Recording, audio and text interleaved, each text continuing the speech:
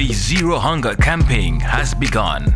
Let's push to have a country free from food insecurities, malnutrition, poor social protection schemes, and low agricultural productivity. More than half of our homegrown food cannot feed the nation. And more than half of us do not even have a balanced diet daily.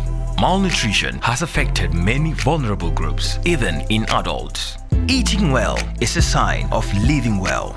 Let's declare that no one should go hungry. Together, we can consume more of our local homegrown food poultry, animals, grains and green vegetable crops. Let's call for sustainable social protection rights and invest more in our agricultural sector so our food can be more available, accessible and affordable. Collectively, we can move forward with zero hunger. Declare it today.